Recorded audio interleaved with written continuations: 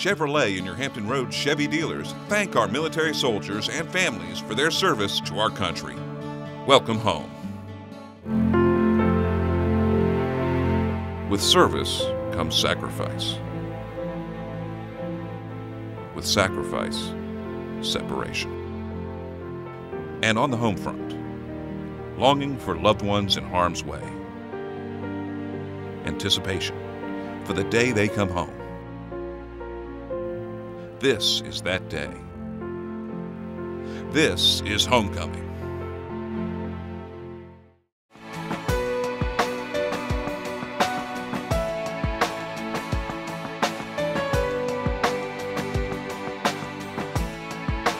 What are we doing here today? Uh, today, my boyfriend is going to be coming home. He has been deployed since September, so the Navy is going to grant him eight days home for the holidays.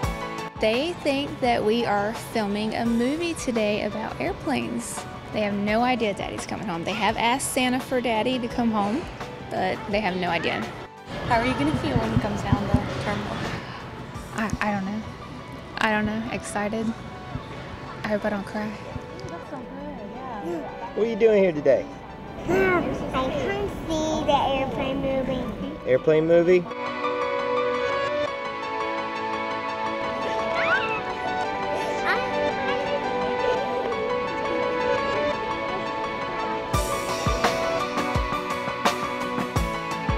You ask Santa What'd you for? ask Santa for? Daddy. You just want Daddy to come home? You think Santa might deliver that?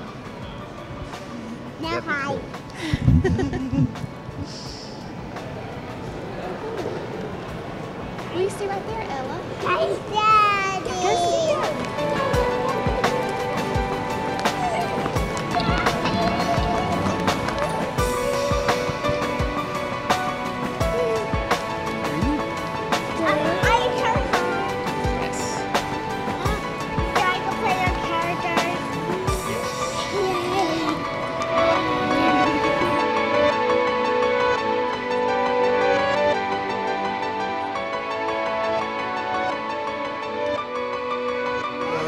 How you feeling?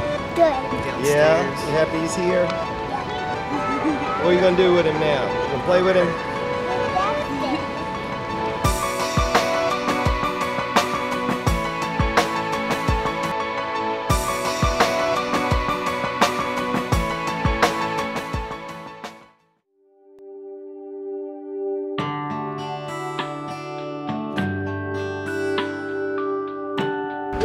Exciting deployment. We're going to be headed down to the 4th Fleet area of operations, so we'll be down around South America, uh, conducting operations down there before we depart and head over to 6th Fleet, over to the Mediterranean and uh, operations around Europe. It'll be a maritime security operations. We'll be partnering with other nations, NATO countries, uh, to provide stability and security in the areas in which we operate. I'm very excited. I'm looking forward to putting all my hard work and training to good use. Um, I think the crew is very confident and ready to do great things. very proud and uh, very sad. Proud and, and uh, you know, I, I, like any parent would feel first time kids goes away.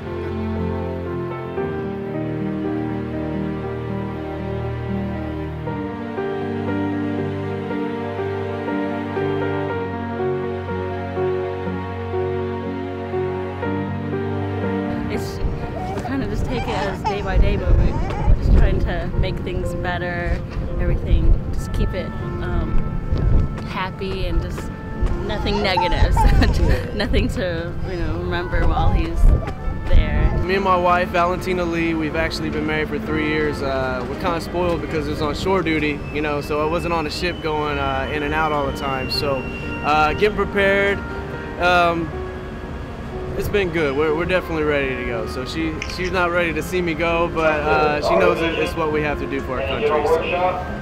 He's excited. You know, it's what he's looking forward to. He loves his uh, group and uh, the team, and he's always been a team player. You know, so I expect him to do the best as always. It's his second family. I think Yeah. he's, it's family. They'll take care of each other. They're excited. Uh, there's always a lot going on the day of deployment, uh, but I'm seeing uh, some tears of family members, uh, but I'm also seeing uh, smiles and happiness for others that are ready to get going and go do the mission that we've been training for for so long.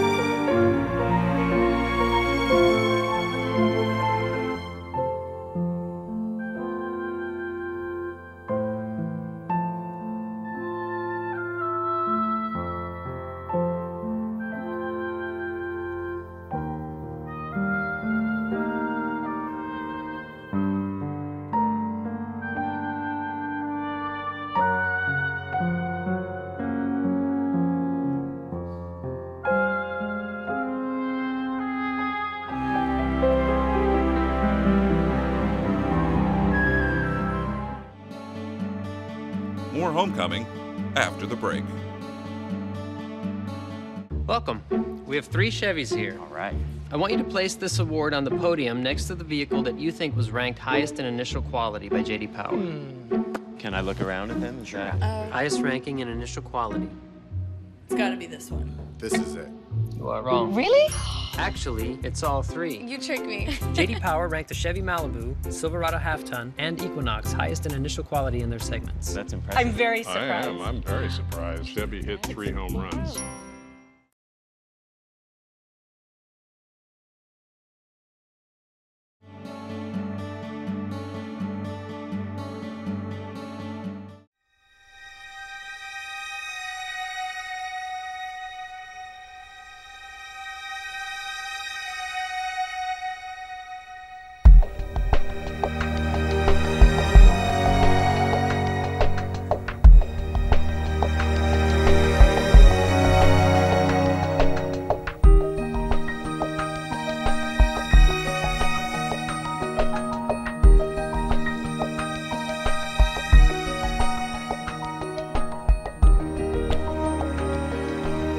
Fleet Weather Center, uh, Norfolk, provides aviation, maritime, and weather information to Navy installations here in the Hampton Roads area, as well as uh, the East Coast and all the way over to the Mediterranean. Today we're hosting uh, media uh, as part of the Defense Support to Civil Authorities, uh, DSCA. We uh, provide uh, recommendations, whether it be for hurricanes, for uh, flooding, or other natural uh, disasters uh, or weather, and we provide that information so that the Navy, partnering with the local community, can be ready and prepared to respond to natural disasters. So we work very hard at making sure that we are on top of what's going on with both the atmosphere and the ocean, and uh, we provide that from our 24/7 watch floor here.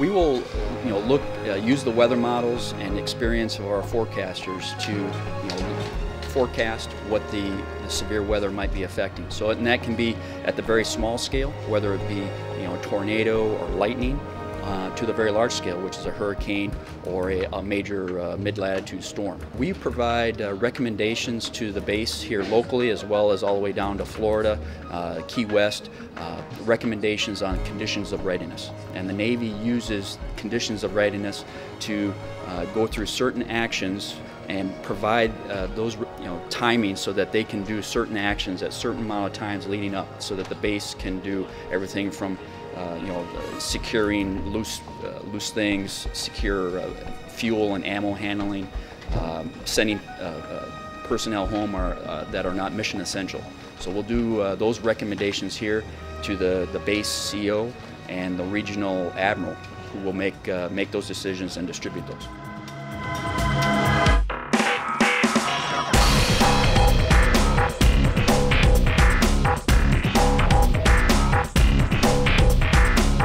Like to show uh, our friends and neighbors what we do. Uh, sometimes we do it underway, and this is a chance to actually do it in port so you can see kind of what we do on a daily basis. Uh, this morning we're doing some uh, DSCA operations, Defense Support of Civil Authorities. Uh, and so I, I like to say that, uh, you know, we say the amphibious fleet is the 911 of the Navy, and uh, I like to think of uh, LSDs kind of as the pickup truck of the Navy. You know, so you've always got that friend who's got a pickup truck that you call when you need something taken here or there or somewhere else. So that's kind of what our job is. Today will probably be a 12-hour day. Uh, that's a little longer than usual, uh, but it's something we do. You know, sailors serve 24/7, so we're, we're ready for whatever operations the Navy has to give to us. Whidbey Island's about 30 years old. Uh, and we've gotten the news that she's going to be extended seven years. Uh, so uh, we're always fighting uh, corrosion and, and, maintenance and things that comes with a 30-year-old vessel, uh, but we've got 320 sailors on board that that's their full-time job. So uh, we're taking care of her. Like I said, sometimes the pickup truck isn't the sexiest thing, but you just care if it gets from place to place and gets a job done. We're bringing in INLS or improved naval lighterage system loads and that's just the method by which we, uh, we get a lot of uh, a lot of equipment from uh, from the beach on board the ship so that way we can load out and be ready to respond to, to anywhere that has an emergency because of a hurricane or, or other kind of problem. Being here pierside, you know, it's just getting the crew kind of worked into it, you know, kind of getting them down there, getting everybody trained up. This is the first time a lot of them have done this. I have very, very good, experienced senior naval leadership down there master chiefs and chiefs, you know, watching these guys and teaching them as we go. Also have great support from the Naval Beach Group uh, 2 on board, uh, you know, over here helping to train us as we do this. So I got a lot of eyes down there that have been doing this for quite a while, helping out my young sailors learn how to do this that are doing it for the first time. Uh, so it's all about keeping them safe, learn how to train to do this, so we'll be ready to execute whenever we're called upon to do so. We are we are working through again the logistics process of how we would load some of our equipment and also the Marines equipment and Expeditionary Strike Groups 2s. We're using the USS Arlington, USS Whidbey Island as two of our ships to go through how we would load this gear if we were going to respond to a defense natural disaster or a man-made disaster by sea. And that's complex because not only do you have the part about getting stuff off the beach, but you also have the confined environment of a ship of how you're going to load it, how you're going to process it off at the same time to be able to provide an immediate impact uh, when you hit the beach the abilities of our meteorological type of folks who do the science behind this and the predictive analysis of where a hurricane or a major storm is going truly helps us. Now what we're doing today does what as well. It enables us to understand our time frames that are required to load the ships. Therefore, if we know that a major storm, which probably is going to cause tremendous amounts of of, uh, of damage and destruction to the U.S. shores is going to hit in about four days. We can provide leadership, although a federal disaster declaration may not have happened, but we have a good estimation of how long it's going to take for us to be prepared to respond. More homecoming after the break. Welcome. We have three Chevys here. All right. I want you to place this award on the podium next to the vehicle that you think was ranked highest in initial quality by J.D. Power. Hmm. Can I look around at them? Sure. Uh, highest ranking in initial quality. It's got to be this one. This is it. You are wrong. Really? Actually, it's all three. You tricked me. J.D. Power ranked the Chevy Malibu, Silverado Half Ton, and Equinox highest in initial quality in their segments. That's impressive. I'm very surprised. I am. I'm very surprised. Chevy hit three home runs.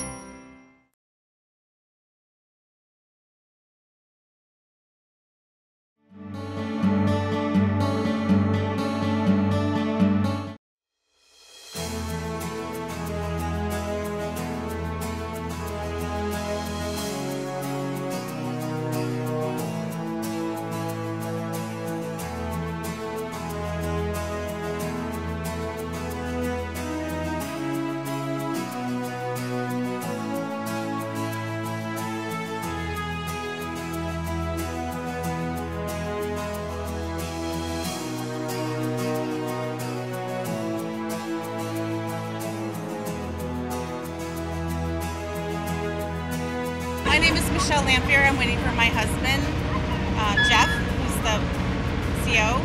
The hardest part is trying to convince everyone else they can do it too. You know, we can do it, and you know, if you really love your husband, you can, you know, you'll get through it all. And just communicate. And letter writing is good, even though you know you can't email and stuff all the time. But if you have a really good relationship to start off with, you can do it.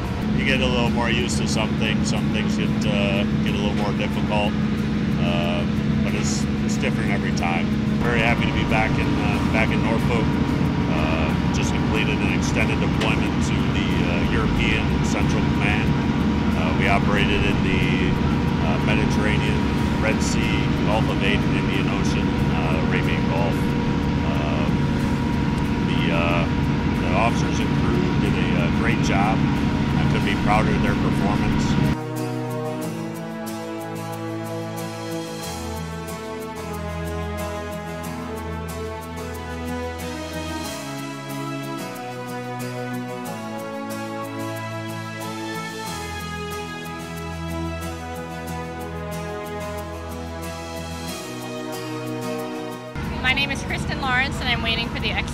Lawrence. Uh, it's been very difficult. Uh, this is our longest, this is the first deployment we've done. We've done lots of workups. We've gone three months, four months before, but this is the first time we've done a full six months. While uh, their father's gone, you know, you have to kind of do both roles. I've been taking kids to basketball practice, practicing baseball, and, you know, pushes me out of my comfort zone. But it's, it, now we're done.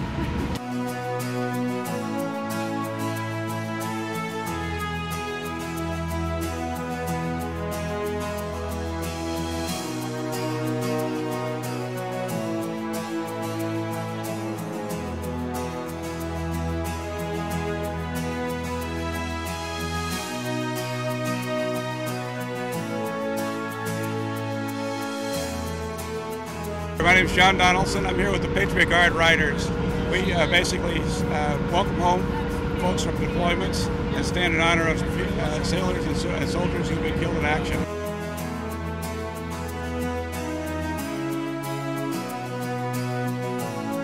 My name is Dan Raffensperger. This is just a privilege that we have every time that we come down here and do this because of the vets that are on these ships and on the bases. My name is James Coker, and I'm here with the Patriot Guard, Virginia. It's, it's really great to see the families because, you know, I've been on the other side before, and the smiles on their faces and the kids, and it's always funny to watch um, the sailors trying to pick out their families, and they always seem to do it really easy. So it's really kind of it's kind of great to watch.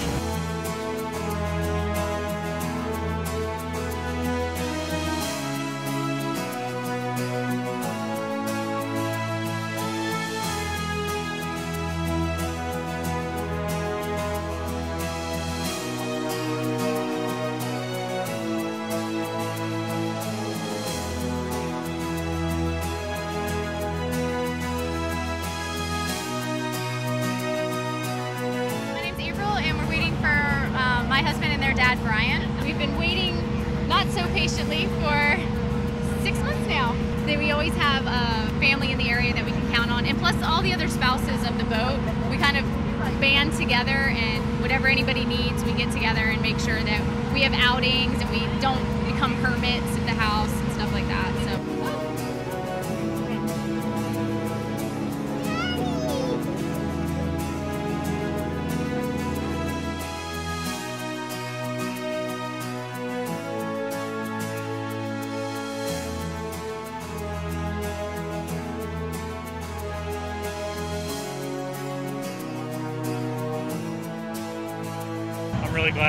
six months, and I'm really glad to be home at this point. It's first three months were really hard, uh, but once we got past the halfway point, definitely made it a whole lot easier. Once the numbers start getting smaller, definitely makes it easier to get through days.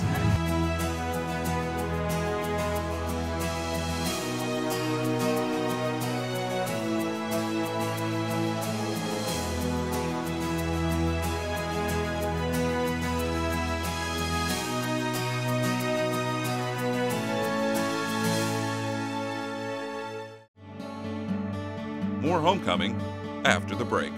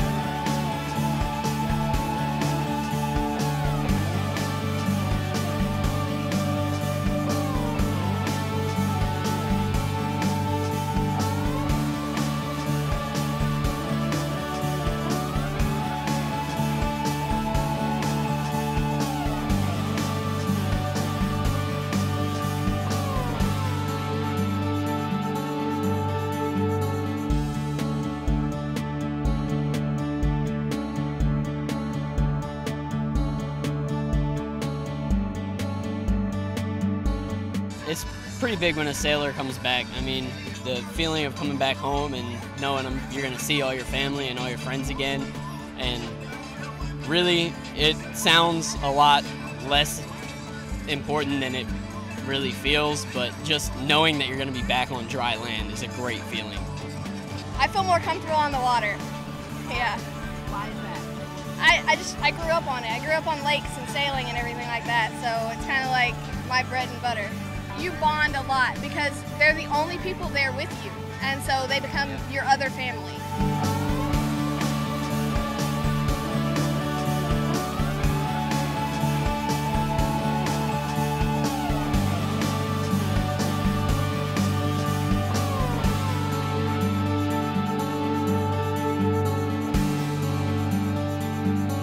We get invited to a lot of different events. Uh, some of them are funerals. Nice thing is we also get invited to homecomings, and this is this is enjoyable for us. Uh, it's an honor again to be here uh, to support this men and women coming off this deployment out here. They've been gone for what six, seven, eight months down here. I know it's very nerve-wracking to them. It's it's our way of showing the honor that we have. Most of us are vets. Many of us are already retired. And it's this way of us showing our appreciation for what they're doing for our country.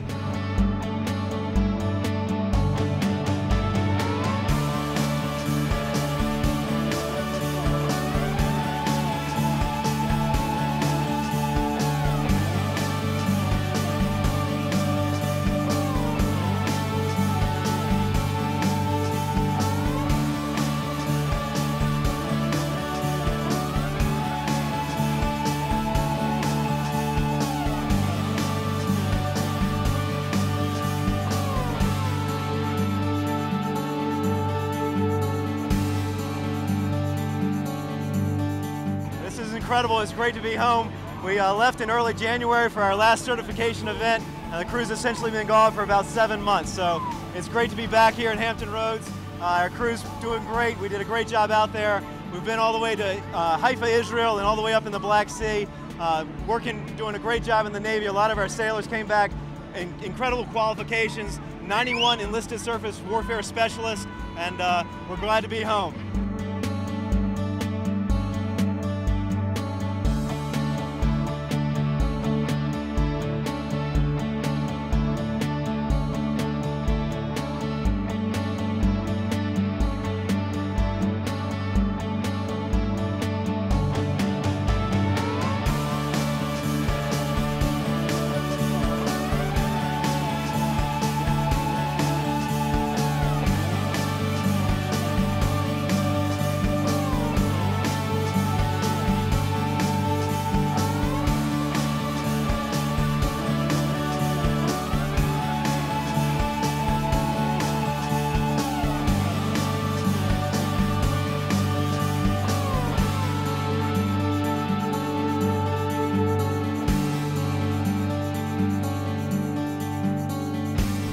Name is Teresa Turner, and I'm out here waiting for my daughter, Teresa Turner, because I'm like the mother now, you know, until she gets back.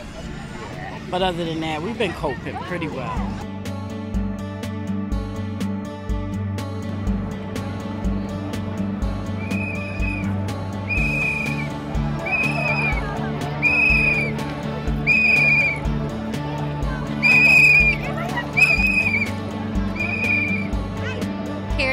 I'm waiting for ET2 Benjamin Cooper. He's been in for a little over four years, first deployment. Um, he just wants to relax. We're to go back to South Carolina for about a weekend or so and just kind of relax. He doesn't want to be around people.